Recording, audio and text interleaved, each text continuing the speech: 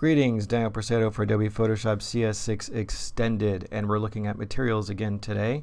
And I'm going to click on my scene here a second time, and it's going to bring up the 3D material for my sphere here, sphere, sphere material. You can select in the 3D panel this, and it'll swap to the properties materials, or you can click on your scene, and it'll show up here as well. Materials define the appearance of the object. So the parameters that you include for things like diffuse, specular, that create the highlights or transparency, they create the look of your object. And let's go over these objects or, or these material properties. Diffuse is the color that an object reflects when it's like illuminated in really good lighting or normal lighting, you know, all over the object. Um, specular it is works with in conjunction with shine here, so you can control the specular highlight, which controls the intensity or brightness of the highlights, that the size or spread of that highlight. That's your specular shine. And you can even change the color of that if you want. You can even add a map to say, I only want certain areas of it to be specular and other areas not to be. Kind of an alpha mask you guys probably are familiar with in masking in Photoshop. You can create illumination in other words, it's going to emit light, which is a very, very cool effect. We can do a quick render here, and you can kind of see when it gets on the floor. I have a I have a ground plane object here, so you can actually see it properly. I think with the normal ground plane that we have in Photoshop, the default uh, fake ground plane doesn't quite work as gloriously as this does. And there you go. It, it's illuminating light, kind of like a neon bulb there, but we're going to change it back to black for now. Then we have roughness, and you can kind of think of roughness um, as the shiny Apple aluminum laptops. It has that kind of rough metal look, and so it can create a very rough, noisy kind of look to it.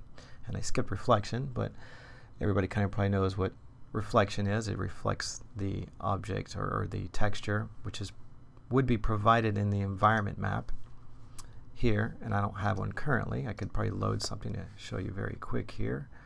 Um, boy, I gotta find a picture. Hey, an Adobe logo. How about this? Ta-da! There you go, reflection. And you can control that parameter. Let's click here again.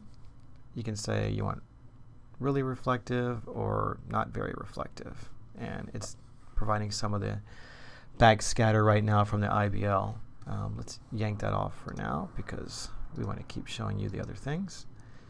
And I know this is kind of going fast, but you can play back the video and, and kind of scope these things out and experiment with each one. The bump is a fun one. Um, the bump map makes an object appear to have bumpier or, or, an irregular surface. So it basically works in grayscale, black and white. I mean, you could put a color map in here. Again, we can throw that same thing in here. And there you go. We're going to have this kind of bumpy, fake bumpy texture to it, which is kind of cool. Um, let's move this camera. There we go. Next, we have opacity, which changes the transparency of the object. You, it's pretty easy there. And rendering times will go up if you use any type of transparency. Just be aware that any file, no matter the size, big, small, transparency will add um, a multiplier effect on your rendering times. But they also give great effects, so they're probably worth it a lot of the times. And refraction.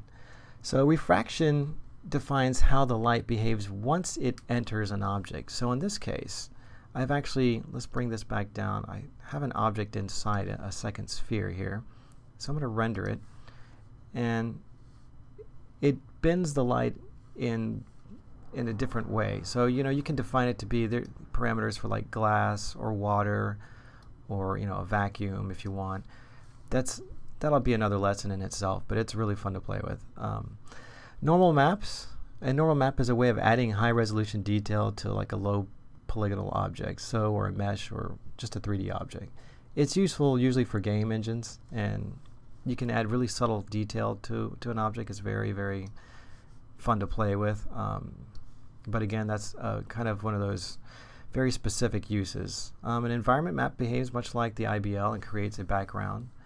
And that's pretty much it for now. I will probably try to dive into detail on some of these other ones in another lesson, but that's just a, a quick, long-winded overview, and I hope that makes sense.